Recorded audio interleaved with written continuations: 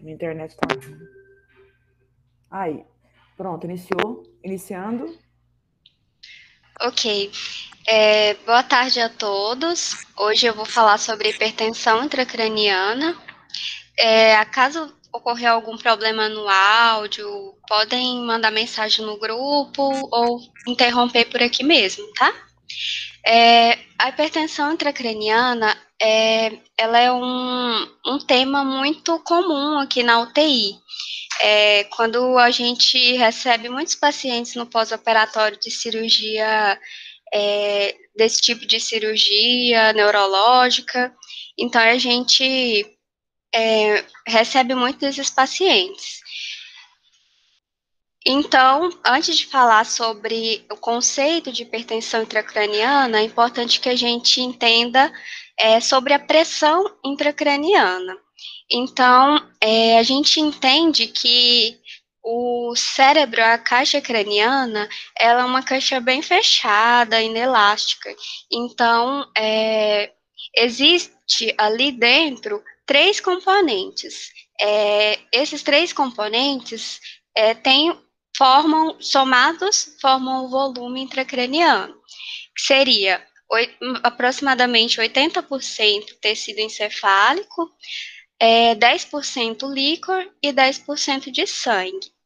Então, é, para manter uma pressão intracraniana normal, que seria, dependendo da literatura, pode ter uma variação, mas em geral entre 5 a 15 milímetros de mercúrio, é, isso depende da preservação desse volume intracraniano. Então, tem uma doutrina de Monroe Kelly é, que fala sobre esse equilíbrio entre o volume do líquor, o volume sanguíneo e o volume cerebral, que formam o volume intracraniano. É, por exemplo, se ocorrer é, uma, um aumento de um, do volume de um desses componentes, por exemplo, é, se ocorrer um aumento do volume do líquor, Aí pode ocorrer, ocorre, na verdade, uma, uma tentativa de compensação com a diminuição dos outros componentes, para que mantenha uma pressão intracraniana normal. Mas pode ocorrer que esses mecanismos compensatórios, eles se esgotam. Então, quando se esgotam, é, aumenta, ocorre o aumento da pressão intracraniana e, em consequência, a hipertensão intracraniana. É, mas o que, pode causar esse desequilíbrio no volume? Que são, seriam as causas da hipertensão intracraniana. É, por exemplo, aumento do volume encefálico, um tumor cerebral, cirurgia craniana, edema cerebral, pode aumentar o volume encefálico. É, o volume de sangue pode ser aumentado pelo é, por um AVE hemorrágico, hematoma, hipercapnia, aneurisma, por exemplo. E o volume do líquor é, por uma baixa absorção do líquor e uma hidrocefalia. São alguns exemplos apenas.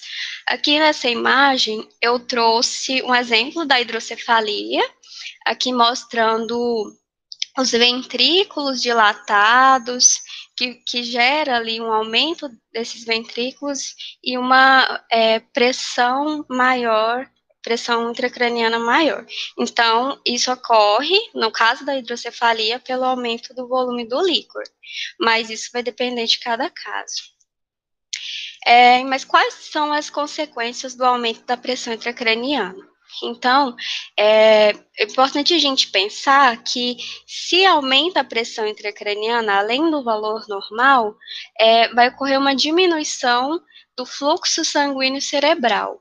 Então, diminui o fluxo sanguíneo cerebral, é, diminui a pressão de perfusão cerebral e pode levar, levando assim à isquemia é, e à hipóxia também. É, pode também ocorrer edema cerebral, pode ocorrer herniação, que é esse deslocamento do tecido cerebral. Então, são consequências do aumento da PIC. É, então, é importante a gente entender também o conceito de pressão de perfusão cerebral. É, tem uma, uma, uma equação, né, uma, uma regra que a pressão de perfusão cerebral é igual à pressão arterial média menos a pressão intracraniana. Então, aqui já traz para a gente que é importante a gente observar a pressão arterial média nesses casos de hipertensão intracraniana. É, a pressão de perfusão cerebral é ideal maior que 70, de, de 70 a 100. Quando é menor do que do que 50 já é um, algum sinal de, de isquemia, de um decréscimo no fluxo sanguíneo cerebral. E o, no caso aqui, a gente percebe que é importante manter uma pressão arterial média, média mais elevada e uma, assim, o objetivo é diminuir a pressão intracraniana. É, continuando, já assim, para não estender muito, como o tempo é curto, eu vou focar mais nos cuidados de enfermagem aos pacientes com hipertensão intracraniana.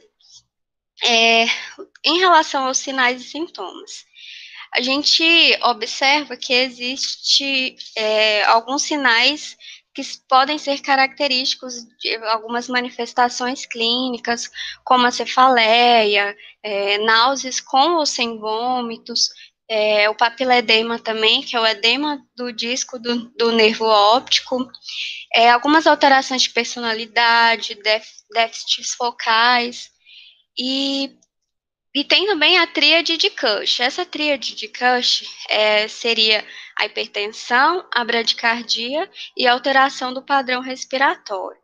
É, quando ocorre, o paciente já apresenta esses sinais e sintomas, é, quer dizer que já é uma condição grave de hipertensão intracraniana, que ocorre pela compressão do bulbo é, devido à herniação do tronco encefálico. Então, são alguns sinais e sintomas que a gente precisa ficar atento. É importante também para o enfermeiro a avaliação neurológica. É a realização da escala de coma de Glasgow, que seria inicialmente para avaliar é, o, o, a gravidade do trauma, né, do TCE. Mas no caso da UTI, a gente utiliza para verificar o nível de consciência dos pacientes. É, a avaliação pupilar também é, o que importa para a gente aqui é sinais de pupilas anisocóricas, com reflexo fotomotor negativo, é, posturas anormais ou alguns déficits motores e reflexos de tronco. É, em relação aos exames, é, tem muitos exames é, que podem ser realizados exames complementares, tanto para diagnóstico como para acompanhamento e avaliação. Temos o raio-x de crânio, a ressonância, é, angiografia cerebral, o Doppler transcraniano para avaliar a, o fluxo sanguíneo cerebral e a TC de crânio, que é bem utilizada.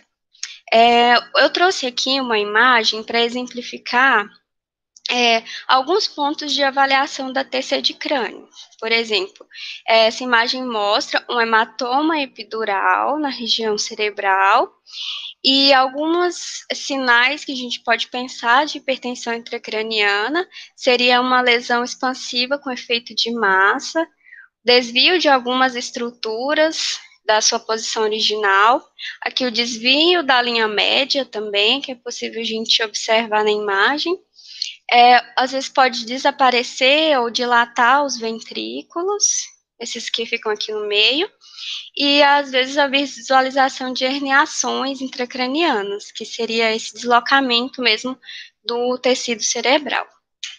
É, a gente pode também ter a monitorização da PIC. Ela nem sempre ocorre, mas quando ocorre, é, ocorre por meio da inserção de um catéter intraventricular, pode ser também epidural ou subaracnoide. É, a gente tem que manter uma, uma PIC menor que 20, né? Até tolerável menor que 20. Se passar disso, a gente já pode falar de hipertensão intracraniana. E essa, esse catéter é ligado a um transdutor de pressão que vai mostrar para a gente a os valores da pressão intracraniana. Uh, o que ocorre muito, que a gente vê com frequência, principalmente após essas cirurgias, é a drenagem do líquor céfalo-raquidiano. Essa drenagem é claro, para reduzir o, o, líquor acumulado e o volume de sangue, e, e isso faz com que a pressão intracraniana reduza também. É, aqui gente, eu trouxe a imagem da DVE, que todos já conhecem, é, que o enfermeiro deve ficar atento ao, ao posicionamento, a manter zerado, é, a coleta e a, a, verificar o aspecto do volume e do aspecto do líquor que está sendo drenado. É, e essa DVE, além de fazer, realizar essa drenagem do líquor, ela pode ser ligada ao transdutor para a gente monitorizar a pressão intracraniana. Aqui mostra um hematoma intraventricular, hematoma dentro dos ventrículos, que é um dos, é, do, dos das situações que, em que pode ser utilizada a DVE para essa drenagem. É importante também que a gente observe o estado hemodinâmico desse paciente é, ficar muito atento à pressão arterial média. Muitas vezes, quando é um estado mais grave, o paciente está instável, é, pode ser necessário a utilização de drogas vasoativas, a instalação de uma PAI também, para verificar essa pressão de forma mais rigorosa, e, e também os outros sinais vitais é, é indicado assim, para o tratamento e para o manejo desses pacientes a cabeceira elevada a 30 graus. É, a cabeceira elevada a zero grau, ela não é indicada porque ela não vai dificultar o retorno venoso do cérebro para o coração. E a cabeceira a 45 graus também não é indicada, porque aumenta a pressão é, intraabdominal e isso pode levar também ao aumento da pressão intracraniana.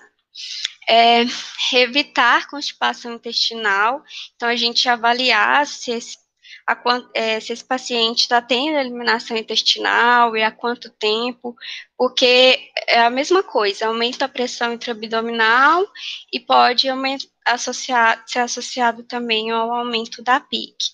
Às vezes é utilizado laxantes também. É, redução do edema, do edema cerebral. É, muitas vezes se utiliza diuréticos osmóticos, como o manitol, que é muito utilizado para o tratamento, para diminuir, diminuir esse edema. É, redução do consumo de oxigênio pelos neurônios. É, para isso, pode-se utilizar barbitúricos e sedativos. É, por exemplo, a fenitoína, porque a fenitoína vai reduzir a atividade elétrica cerebral e essa redução ajuda a controlar a demanda e a oferta de oxigênio. É, em relação ao controle da temperatura, a gente entende que a hipertermia ela é prejudicial nesses casos, porque é, isso vai aumentar o metabolismo, metabolismo cerebral e o consumo de oxigênio. Então, é, algumas literaturas, alguns artigos recomendam a hipotermia é, terapêutica. Não é um consenso total, mas ela pode ser indicada também. Eu vi apenas na, na, no TI neonatal, quando eu passei por lá. É, e o suporte ventilatório. Né? Quando que vai ser necessário esse suporte ventilatório, a intubação é, orotraqueal? Quando tiver sinais clínicos da hipertensão intracraniana, Glasgow menor ou igual a 8, haver esses sinais de sofrimento respiratório, hipercapnia, hipoxemia refratária, é, importante manter a sedação para evitar a agitação do paciente e analgesia também para evitar a dor. É, evitar aspirações endotraqueais frequentes. É, muitas vezes a gente vê muita, muita aspiração, às vezes é, não é tão necessário, porque essas aspirações frequentes, elas podem também aumentar o, é, o, a pressão entre torácica e abdominal, e também elas podem deflagrar a tosse, que ocorre mesmo, que, e também quando a gente aspira o paciente, ocorre essa queda de saturação, que é normal, e tudo isso pode contribuir para o aumento da pressão intracraniana.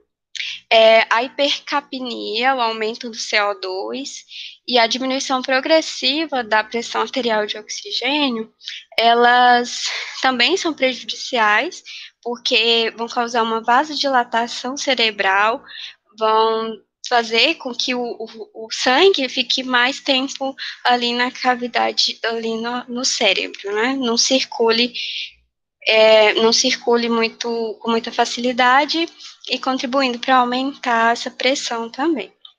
É, e para finalizar, eu trouxe um artigo, é, é só um exemplo que, que traz um pouquinho do que a gente já falou também, do que seria essas recomendações de manejo, de tratamento para esses pacientes, como a sedação, é, agentes hiperosmóticos, utilização de barbitúricos, hipotermia, intervenção cirúrgica quando necessário. Então, essas são as, seriam algumas recomendações gerais.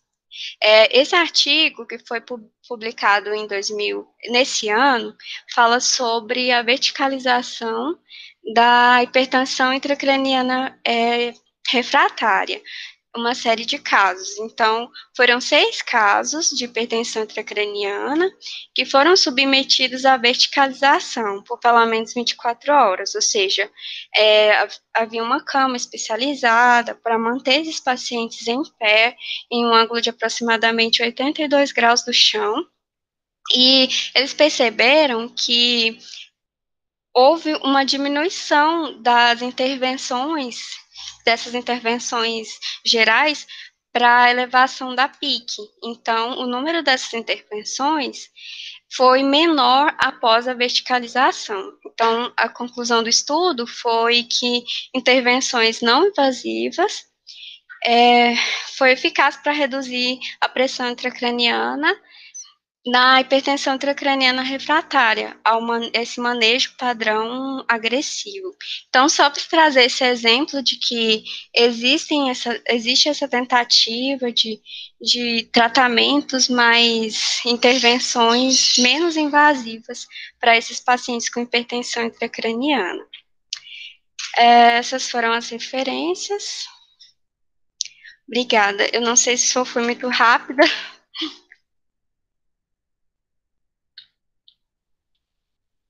Alguma